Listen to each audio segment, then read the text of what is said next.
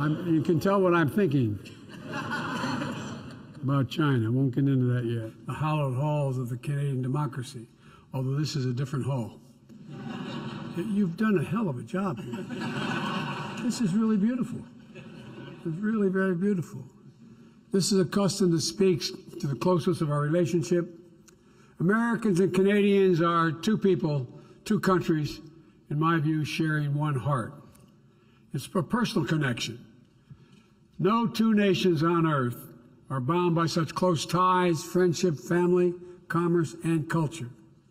Our labor unions cross borders. So do our sports leagues. Baseball, basketball, hockey. Listen to this hockey. I have to say, I like your teams except the Leafs.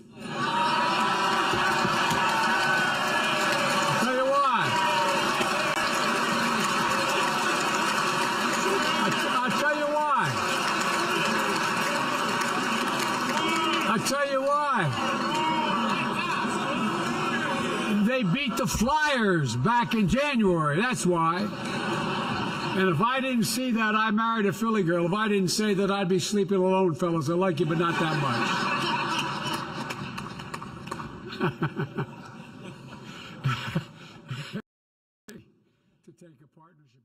I applaud China for stepping up. Excuse me. I applaud Canada. I'm, you can tell what I'm thinking about China. Won't get into that yet.